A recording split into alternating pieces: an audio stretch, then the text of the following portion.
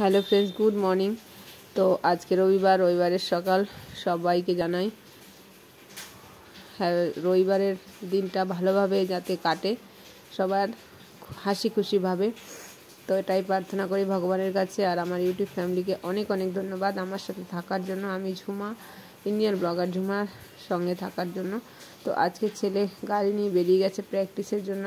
তো সাথে আমিও আছি আর আমার হাজব্যান্ড আছে। তো ছেলে মা বাবাকে নিয়ে বেরিয়ে গেছে, মেয়ে তো নেই বাড়িতে। তো ছেলে গাড়ি চালাচ্ছে একটু সকাল সকাল।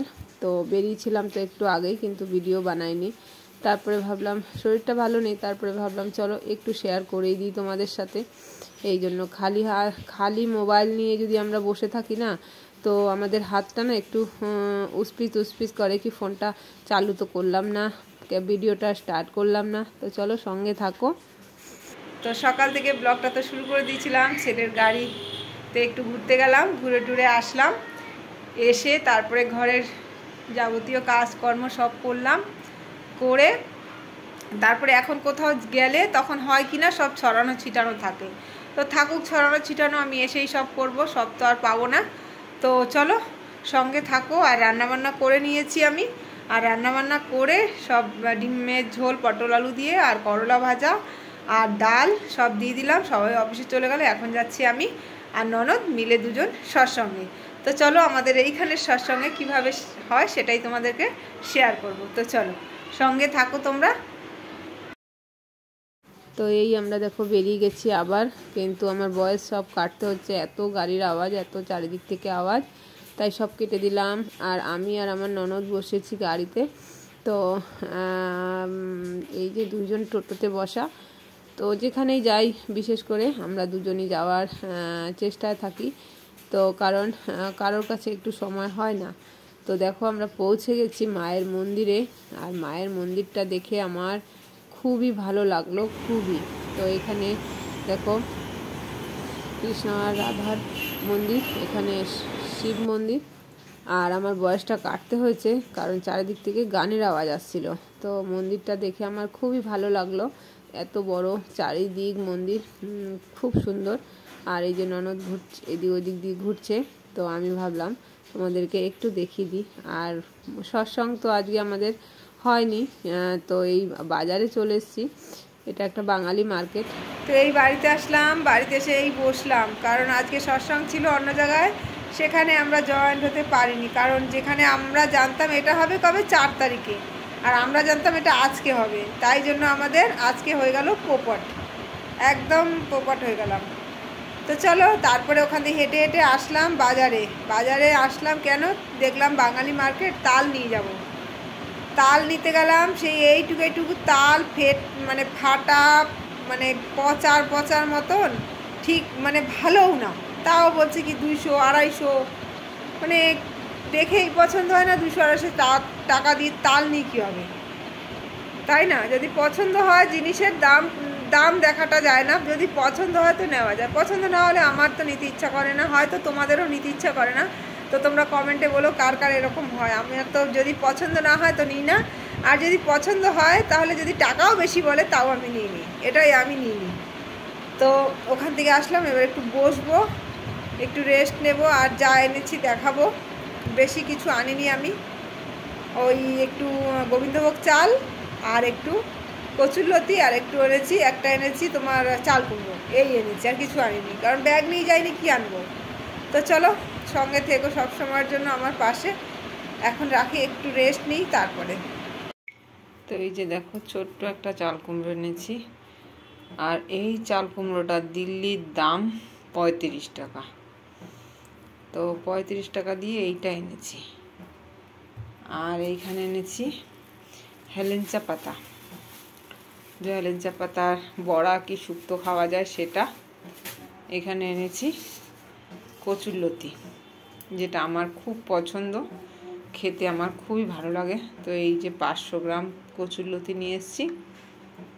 আর এই যে রান্নাঘর পরিষ্কার করলাম। বাসন টাসনগুলো ধুলাম। এখন এইখানে জামা কাপড়গুলো এইবার গুছাবো। কারণ এইটা তো পশু পড়ে গেছিলাম মন্দিরে, সেইটা ধোয়া হয়ে গেছে। এইগুলো ধোয়াই রয়েছে। তো এটা গুছাবো আর ওই শাড়িটা একটু পরে গেছিলাম, এটা গুছাবো। এই যে সব জামা কাপড় গুছিয়ে ঘরটার ঝাড়ু দিয়ে দিচ্ছি এখন। আর এই দেখো নডি এইভাবে বসে আছে ইঁদুর মারার জন্য।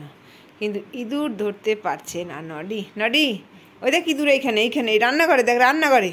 রান্নাঘরে দেখ দেখ দেখ দেখ, তাড়াতাড়ি আয়। নডি। দেখো, নডি, ইঁদুর। দেখো, সব জায়গায় নডি, এখন ইঁদুর খুঁজবে। এর নিচে, ওর নিচে।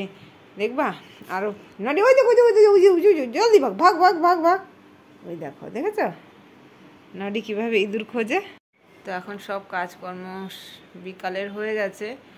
আর সব হয়ে গেছে। এখন তো আমি একটু পরে একটু চা বানিয়ে খাব। আর মেয়ে আসবে কালকে, তো একটু খুশি খুশি মন এখন। আজকে আজকে রাতটা কালকে এসে যাবে মেয়ে। দুপুর অবধি হোক, বিকাল অবধি হোক মানে কালকের দিনে এসেই যাবে। তো চলো, চা খাব। আর কালকের থেকে তো শরীরটা একদমই ভালো না, কারণ জ্বর এখন তো সবারই হচ্ছে। জ্বর, সর্দি, কাশি এইগুলো তো হয়েই যাচ্ছে। তো সাথে আমারও হচ্ছে এরকমই। তাও এরকম ম্যাজমেজা শরীর নিয়ে ভাবলাম, একটা ভিডিও বানাই। তাই বানালাম। তো চলো, আবার দেখা হচ্ছে একটু পরে। তো এই যে মাংসটা মেখে টেখে রেখে দিচ্ছি একদম ফিটফাট করে। আর এই যে কুকারে ভাত বসিয়ে দিচ্ছি। আর এই কড়াই গরম হয়ে গেছে। তো এখন এতে দিয়ে দেবো তেল। আর তেলটা কমই দেবো, কারণ ওতে তেলটা একটু বেশি দিয়ে রেখেছি। তো এই তেলটা কমই দেবো। আর এই তেলটা গরম, কড়াই গরম দেখে তেলও গরম হয়ে গেছে, দেখো। আর এই সাথে দিয়ে দেবো আমি একটা শুকনো লঙ্কা, একটা তেজপাতা, আর এই যে দেখো, একটা এলাচি, একটা দারচিনি, দু টুকরো ছোটো ছোটো, একটা লং, দুটো, এই দিয়ে দিলাম। তো এইবার এইটা একদম গরম হয়ে গেছে। তো এইবার সব মশলা দিয়ে বসিয়ে দেবো একবারে। এইবার আলুগুলো আমি ভালো করে ভেজে নেব। ভেজে তারপরে আলুটা একটু বেশি পরিমাণে দিয়েছি। ভেজে তারপরে আমি এতেই সব মশলা টশলা দিয়ে একবারে বসিয়ে দেব। কারণ শরীর যখন ভালো থাকে না কিচ্ছু ভালো লাগে না, বাস কোনো মতন বানিয়ে ছেড়ে দেব। আর এই আলুগুলো একটু ভাজা হয়ে গেছে, দেখো মাংস মানে মাংস, মশলা সবই কিন্তু আমি দিয়ে দিলাম। এইবার দিয়ে আর কিছু করব না। আর এইগুলোকে কষিয়ে নেব। এই মাংস সব কষিয়ে একবারে বসিয়ে দেব। তো এভাবে করে কখনো খেয়ে দেখো, ভালো লাগবে। আর আলুটা তো একটু ভেজে নিতেই হবে, তো তো একটু কাঁচা কাঁচা গন্ধ থাকতে পারে। আর এইভাবে ভেজে আর এই যে দেখো মাংসটা কষিয়ে না আমি রেখে দিচ্ছি। আর যখনই আমি এডিটিং করি না, আমার নডি এত চিল্লায়। কি করব? তোমরা একটু ম্যানেজ করে নিও। আর এই যে সব বাসনপত্র সব ধুতে হবে। কিছুটা ধুয়ে রাখি আমি। কিছুটা ধুয়ে রাখব তো একটু হালকা হবে। আর এই দেখো, আমার মাংস কষে গেছে। এবার এতে জল দিয়ে দেবো। জল দিয়ে এখানে জল টল ঢেলে দিলাম। আর এডিটিং অনেক কষ্ট করে আজকে এডিটিংটা করলাম। মানে অনেক কষ্ট করে। কারণ এতটাই শরীরটা খারাপ।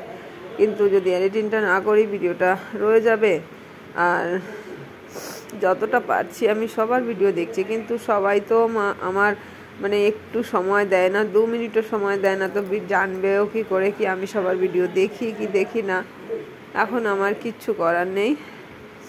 তো শরীরটা মানে কি বলব সর্দি আর কাশি আর জ্বর হলে না এই যে মাংস একদম তৈরি হয়ে গেছে গরম গরম মাংসের একটু হালকা পাতলা ঝোল, একটু হালকা পাতলা ঝোল, বেশি ঝোল না, আবার পাতলাও না। এই যে এরকম ঝোল, মাংস আর কিছু বানাইনি। তো ডাল আছে সকালের আর ডিমও আছে। দেখাচ্ছি, দাঁড়াও। তো এই যে দেখো, ডিমের ঝোল রয়েছে দেড় দেড় মানে একটা আর ওই আর্ধেকটা। আর এই যে রয়েছে ডাল, তো এই এই হচ্ছে আর এই যে মাংস হয়ে গেল, এইভাবেই রান্না করেছি আজকে। দেখি কেমন লাগে। এদিকের গ্যাস ট্যাসগুলো মুছে পরিষ্কার করে নেব। আর কিছুটা বাসন তো এই দেখো সব ধোয়া হয়েছে, আর এইগুলো এখন ধুবো। এইগুলো বের করব। এই দেখো সব পরিষ্কার করে নিয়েছি, আর মেয়ের জন্য একটু মাংস তুলে রাখলাম। কালকে তো এসে যাবে, তো একটু মাংস তুলে রাখলাম মেয়ের জন্য। আর এই যে এইগুলো পরিষ্কার করে নিয়েছি আপাতত। আজকের মতন। আর এই যে এইগুলো তো আগেই ধুয়ে নিয়েছিলাম এটা খেয়ে খাওয়া দাওয়ার পরে দেবো। তো হয়ে গেল এই দিকটা।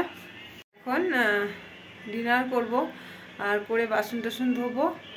তারপরে আমার দুবার খেতে হবে মেডিসিন আর এক, একবার খেতে হবে খাওয়ার পরে, তারপরে আধা আধা ঘণ্টা পর আবার খেতে হবে। লগভগ আমার খেতে খেতে বারোটা মতন বাজবে। কারণ এখন সাড়ে দশটা বাজে খাবার খাব এগারোটা, তারপরে আবার ওষুধ খাব, একটু পরে। এই করতে করতে সময় চলে যাবে। তো কারণ শরীরটা তো আজকাল জানো, সবার জ্বর হচ্ছে ঘরে ঘরে, আর এই জ্বরটা তো ভালো না। তাই একটু ওষুধ তো ঠিক মতন খেতেই হবে। আর তোমরাও নিজের দিদির শরীর খেয়াল রেখো। এখনের যেই সমস্ত জ্বর সবার ঘরে ঘরে তো হচ্ছে, তো নিজেরা একটু খেয়াল রেখো। সঙ্গে থেকো সবসময়। চলো গুড নাইট, আবার দেখা হবে। হিন্দি ব্লগ নিয়ে নতুন দিন, নতুন সকাল। তো আজকের মতন বিদায় নিলাম, টাটা, বাই বাই।